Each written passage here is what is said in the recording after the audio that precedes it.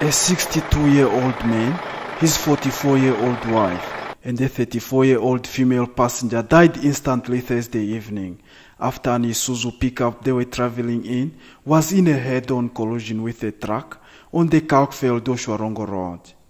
The Otjozondjupa police confirmed the accident on Friday morning, saying it occurred about 55 kilometers south of Otjiwarongo. Names of people who died could not be revealed on Friday, as their close relatives had not yet been informed of the incident. The deceased were transporting two heads of cattle in the vehicle and were coming from Okakarara to attend the wedding at Omarurum.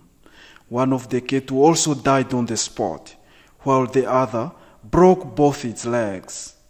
The police said the Isuzu pickup was traveling from the direction of Otjiwarongo towards Kalkfeld at the time of accident, while the truck headed the opposite direction.